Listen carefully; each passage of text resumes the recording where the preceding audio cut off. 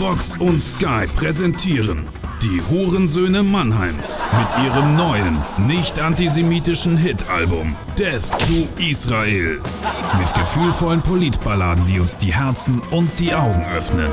Und wenn ein Lied meine Lippen verlässt, dann nur damit du Wahrheit erfährst. Der Jude Schuld steht zu 100% fest. Ich sag nur Rothschild, schaut mal im Netz.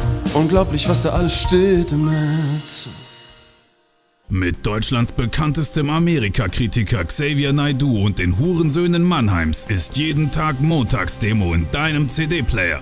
Aufgewacht, ihr Steigbügelhalter. Guten Morgen. Das neue Album der Hurensöhne Mannheims trennt euch mit scharfer Schere endlich von der Nabelschnur Babylons. Dieses Land ist keine Republik. Dieses Land ist eine GmbH. Der Armee lenkt, wir sind nicht selbstbestimmt, denn wir haben keinen Friedensvertrag. Die Fachpresse ist aufgerüttelt vom bislang ehrlichsten Album des amerikakritischen Kurpfälzers und seinen schlau gekifften Paladinen.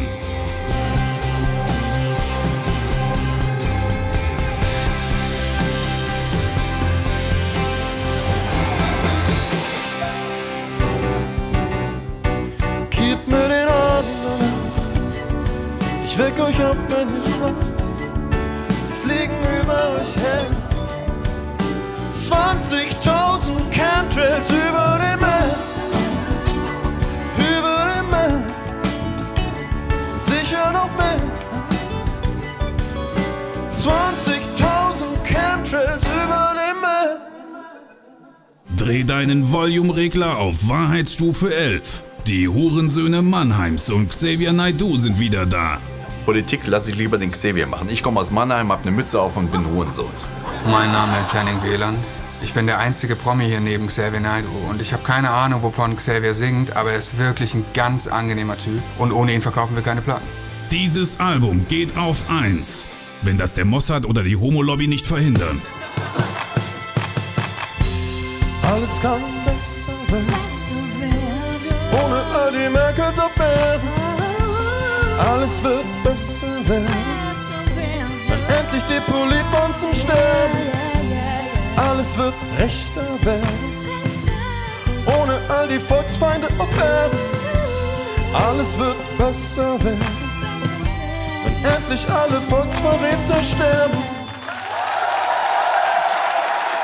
Vox und Sky präsentieren das neue, nicht antisemitische Wahrheitsalbum von Xavier Naidoo und den Hurensöhnen Mannheims.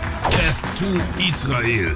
Für alle, außer Muschi-Verweigerer, Volksverräter und von Amerika und Israel gelenkte Marionetten. Ausgezeichnet mit dem Lutz-Bachmann-Preis für nicht entartete Kunst. Ab sofort erhältlich im ganzen Reich.